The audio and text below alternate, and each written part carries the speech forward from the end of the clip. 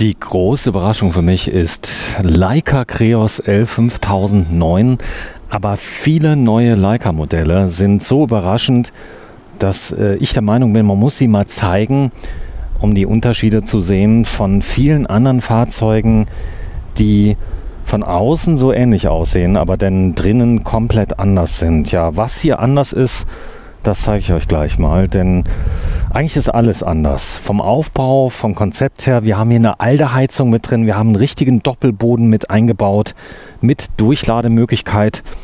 Schaut euch bitte für den Doppelboden Garage das Schwestermodell an, den L5009 ohne Hupet, denn das Ganze wirkt natürlich hier nochmal ganz anders. Wir haben ihn eben gezeigt mit Kunstlicht und jetzt seht ihr das Ganze mal mit Tageslicht, aber 168.874 Euro, Grundpreis 127,2 ist natürlich auch eine Ansage, denn äh, wir liegen hier schon im absoluten Liner-Bereich. Auch von der Höhe, von der Optik her werden wir das Ganze jetzt mal beleuchten, aber mich hat es ziemlich umgehauen. 20. September 2022, große XL Aufbautür ist hier mit drin. Und wir sind im Freistaat in Sulzemoos. Hier bei der Firma Zellerer. Und hier kann man das Ganze auch besichtigen. Und damit ihr äh, euch ein bisschen vorbereiten könnt für den weiten Weg, habe ich mir überlegt, komm, ich zeige euch mal die ganzen Modelle.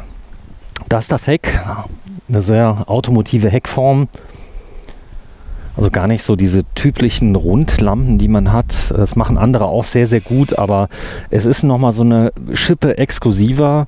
Wir haben ein Alco-Tiefrahmen-Chassis, sehr, sehr breit, auch hier drunter. Das heißt also, hier kommen die Räder fast bis nach außen ran. Macht natürlich auch eine tolle Fahrdynamik. Die Vorderräder sind natürlich weiter nach innen. Rückfahrkamera ist mit eingebaut. Große Heckgarage. Ich meine 250 Kilo Zuladung. Wir können uns die Daten ja noch mal kurz anschauen, die wir hier haben. Hier liegen wir bei Masse fahrfertiger Zustand 3810 Kilogramm, technische zulässige Gesamtmasse 4,5, also rund 700 Kilo Zuladung, die wir hier noch haben. So, gehen wir rein.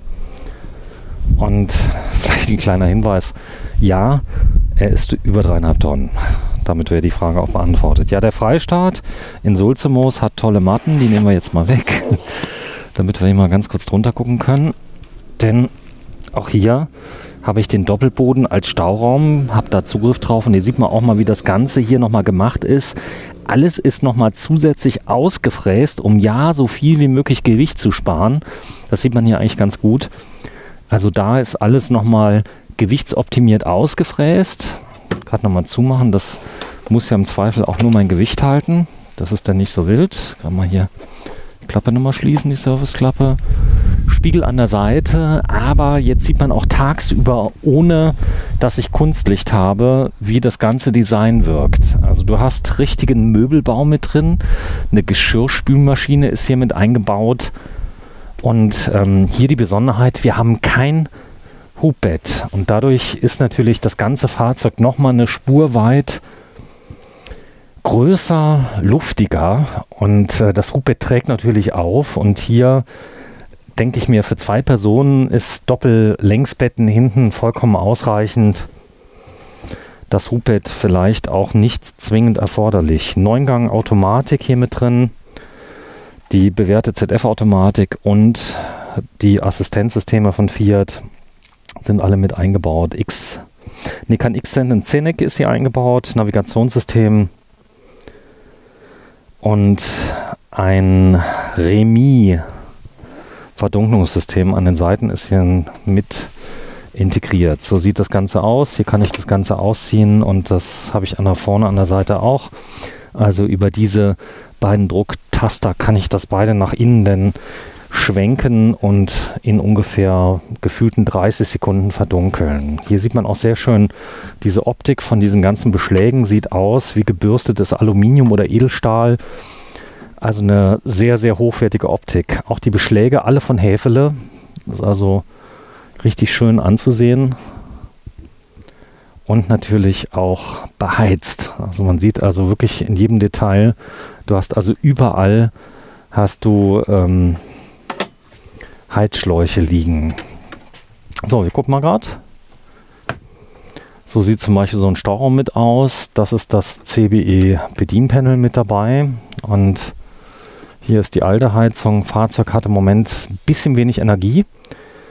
Nehme an, dass es nicht am Außenstrom hängt. Das macht aber gar nichts, denn ich wollte euch erst eigentlich mal zeigen, wie wirkt das Ganze bei Tageslicht in Verbindung mit Spülmaschine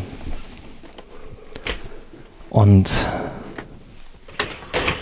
diesen wirklich sensationell gestalteten Küchenblock, der hier mit drauf ist, der komplett rund ist. Das heißt also, das Ganze hat eine eingefasste Form von oben nach unten in so einem Art Mineralstoff, der hier mit drauf ist.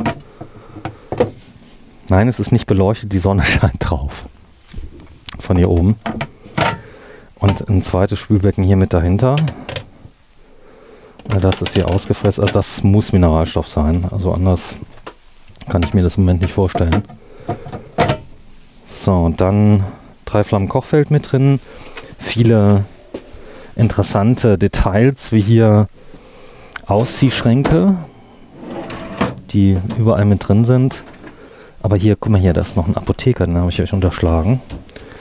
Der lässt sich ausziehen. Auch das ein Detail, das du bei vielen nicht so hast. Den großen Dometic Tower von beiden Seiten zu öffnen und der Dometic Grill, der mit eingebaut ist. Das Ganze ist ähm, zweifach verschließbar. Wir haben Doppellängsbetten hier mit drin. Der Fernseher hier ist bereits installiert hinten drin. Und zwei große Kleiderschränke, die eine Besonderheit haben. Sie haben Auszüge mit drin. Das heißt also hier sind von RAM richtige Schwerlastauszüge montiert, die ähm, Wäsche, Schuhe, das ist hier angeschrägt direkt für Schuhe, die abzulegen. Und auf der anderen Seite hast du das gleiche von RAM dann nochmal in einer ähm, ganz großen Version, wo du deine Kleinerhaken dann einhalten kannst. Ja, das Ganze von Ram Industries, wirklich ein bekannter Hersteller für solche Schwerlastauszüge, Hammer. Also das hier zu sehen ist natürlich ein richtiger Traum. Der Schlafkomfort, der ist auch nochmal da. Wir haben hier Teller, das ist dann nochmal die Leiter mit drin. Falls das ganze System hier erweitert wird, da gibt es dann eine Platte dazu und dann kann ich hier eine Liegewiese draus bauen. Hier ist schon mal die Erweiterung, hier ist mit dabei. So, hier ist der Fernseher.